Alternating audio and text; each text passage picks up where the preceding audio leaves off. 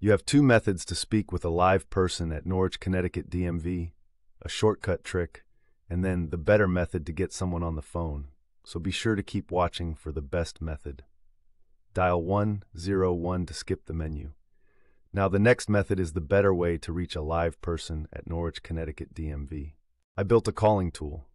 To use it, open up your browser, go to claimyr.com, and search for the Norwich, Connecticut DMV option.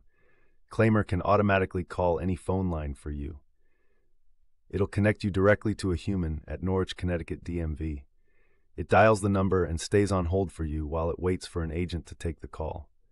When it detects an agent, it'll send the call to your phone. And here is Claimyr sending me a call back from Norwich, Connecticut DMV with an actual agent on the line. It is a paid version, but it definitely works.